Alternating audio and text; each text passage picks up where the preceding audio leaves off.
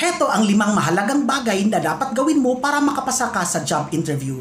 Una, be on time or ahead of time. 10 to 15 minutes ahead of time or ahead of interview, mas maganda para hindi ka naman kulas or pawis na pawis habang nag interview Pangalawa, ay be prepared. Prepared physically. Ibig sabihin nakatulog ka ng mahimbing, ng mahaba-haba para hindi ka naman puyat during the interview. Mentally prepared ka na rin dapat at na-research mo rin ang kumpanya na papasukan mo, pati yung job description mo ha, or JD na or posisyon na ina-applyan mo. Mas maganda or mas mainam na pinag-aralan mo rin.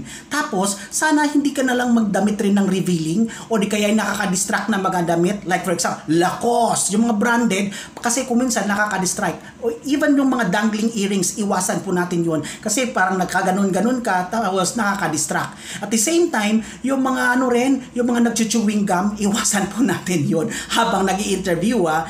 And then, another one, practice eye contact, lalo na po sa kapag tinatanong ka. Kasi doon nasusukat kung credible ka ba o mapagkakatiwalaan yung mga sagot mo o totoo yung mga sagot mo.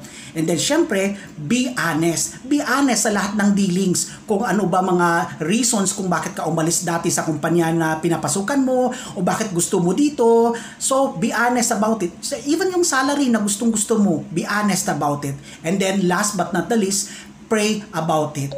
Pray that God will reveal to you uh, kung ano ang dapat mong isasagot. It is also our prayer that God will grant you favor, success. Ang job na yan ay makuha mo talaga. Okay? God bless. Raka-raka salamat.